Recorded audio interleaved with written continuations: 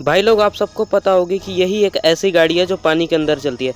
But guys मैं आप लोगों को ऐसे ट्रिक बताऊँगा जिससे आप बाइक को भी पानी के अंदर चला सकते हो, ठीक है गाइस तो इसके लिए आपको देखो, कुछ ऐसी टाइप की पोजीशन में आ जानी है और ऐसे करके पीछे ले जाना है, ठीक है? गाड़ी पीछे की ओर एकदम स्पीड में उतार देना है और आप ऐसे ही एकदम पीछे वाले वाले बटन है ना बैक वाला, उसको दबा के रखना है।